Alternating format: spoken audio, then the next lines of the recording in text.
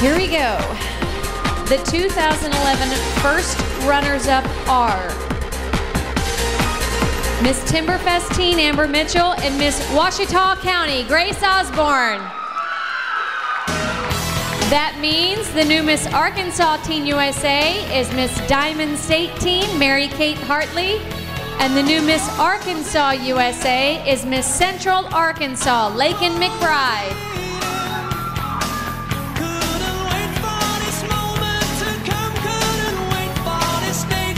Congratulations, ladies. Step out there and let everyone see just how excited you are.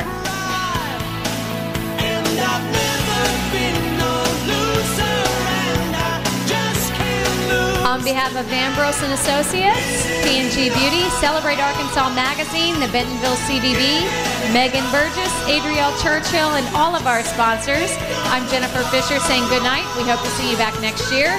Be sure to watch our new Miss Arkansas USA on NBC as she competes for the title of Miss USA 2011.